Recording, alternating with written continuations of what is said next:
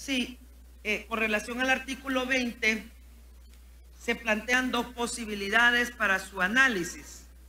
Uno es el análisis de razonabilidad y el otro el de legalidad. Si se plantea que ambos son los elementos que deben analizarse, pero el de razonabilidad se considera que no es como dice aquí, si se determina que el requerimiento realizado por la administración pública carece de fundamento legal, no será necesario que el TEP continúe con el análisis de razonabilidad. Correcto.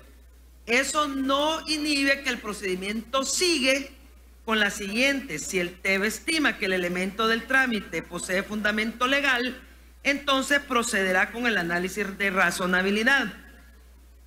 Entonces aquí el tema es, es lo que dice el diputado Portillo Cuadra, que yo creo que vale la pena aclararlo.